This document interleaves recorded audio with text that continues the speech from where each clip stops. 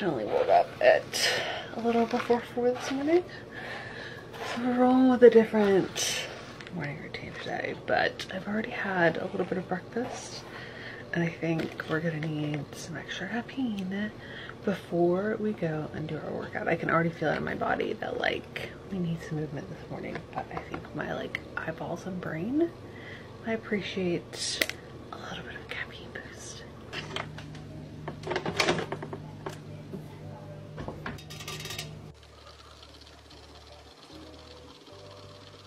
like,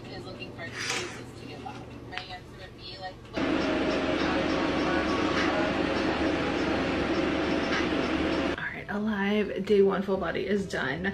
I really like the workouts, but I have to say I'm still a little annoyed that for whatever reason they haven't fixed it and my tracking for my like actual workout doesn't count. Like it tracks the minutes that I do for my warm up, but for whatever reason it won't compute the others so that I don't get credit and like I like to use the app on my phone because it's easier to move through things. So hopefully they'll get that glitch fixed. But now we're gonna put on some sunscreen UPF top and go grab an iced coffee before I need to get ready because we have a Botox appointment to go to today.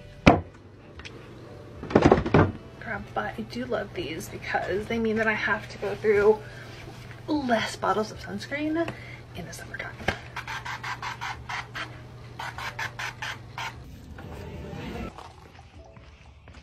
75% sure on the fit, but we'll find better angles for you guys. I'm gonna have to like wear it and feel on it. We're not quite there with it, but we have options so to freeze my forehead.